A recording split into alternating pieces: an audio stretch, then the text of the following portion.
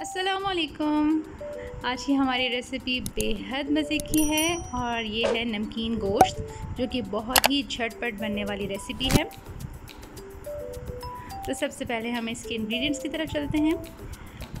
आ, मैंने एक किलो यहाँ पे बीफ लिया है।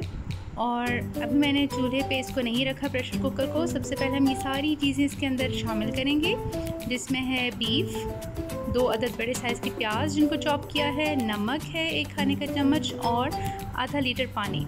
इन सारी चीज़ों को डालने के बाद प्रेशर कुकर को हम बंद करेंगे और 20 से 25 मिनट के लिए विसल के बाद इसको हम पकाएँगे।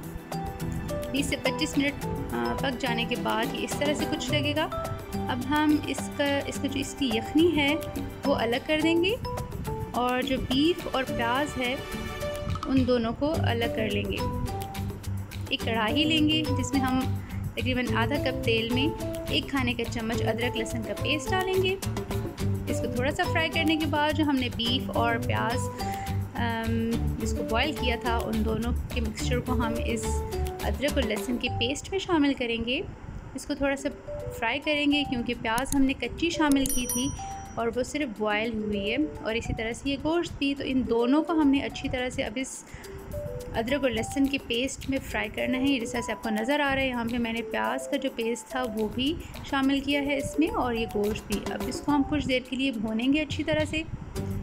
अब हम इसके अंदर एक चम्मच काली मिर्च का पाउडर, एक चाय का चम्मच ज़ीरा एक चाय का चम्मच गरम मसाला, थोड़ी सी हरी मिर्चें आप अपने जायके के मुताबिक इसको शामिल कर सकते हैं। ये बहुत तेज़ वाली नहीं है। पर इनको हम थोड़ा सा फ्राई करेंगे।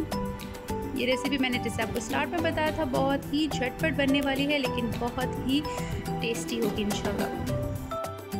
मैंने इसमें इस तरह से बारीक कटा हुआ थोड़ा सा अदरक शामिल किया है।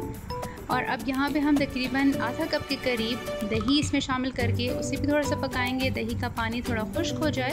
तो इस तरह से स्लाइस किए हुए तीन, दो से तीन लीमू आप ले लें, उनको काटें और इसको भी इसमें शामिल करें। थोड़ा सा इसको मज़ीद पकाएँगे और ये हमारी जो नमकीन गोश्त की कढ़ाई इसको आप कह लें, ये बेहद मज़े की है और ये तैयार हो चुकी है। आप इस रेसिपी को नान के साथ ट्राई कीजिएगा और मुझे उम्मीद है कि आप सब इसको ज़रूर ट्राई करेंगे और अपने कमेंट्स में मुझे ज़रूर बताइएगा कि ये रेसिपी आपको कैसी लगी।